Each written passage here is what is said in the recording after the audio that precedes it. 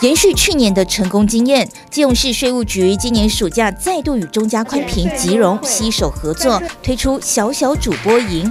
今年的活动更加入魔法元素，参与的孩子们从基础的幼字发音练习，到抑扬顿挫的表达技巧后，化身成小魔法师，穿上巫师袍上台报新闻，为学习过程增添乐趣。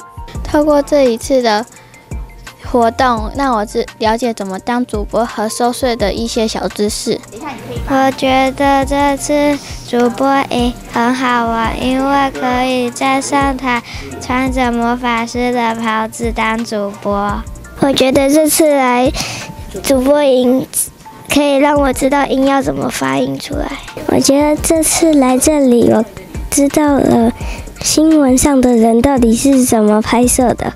我参加这次珠穗新闻的主播营，学让我学到了很多东西，然后也让我比较不会害怕镜头了。这次参加主播营最大的收获是，让我可以体验当主播的乐趣。这里可以教我们怎么把字念得更清楚，反应力更好。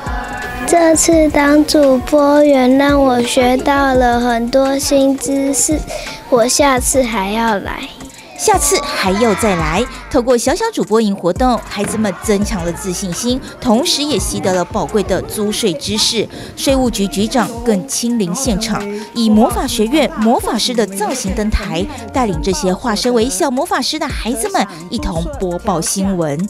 若成为公益出租人。更有减税优惠。